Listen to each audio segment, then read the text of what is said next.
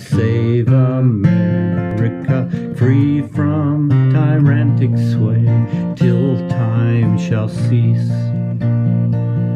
Hushed be the din of arms, and all proud war's alarms follow in all her charms, heaven-born peace. God save great Washington, freedom's chosen son, born to command. May every enemy far from his presence flee, and be grim tyranny bound by his hand.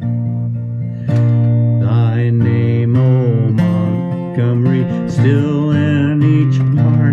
shall be praised in each breath. Though on the fatal plain thou wast untimely slain, yet shall thy virtues gain rescue from death. Blessed in our song shall be guardian of liberty, Louis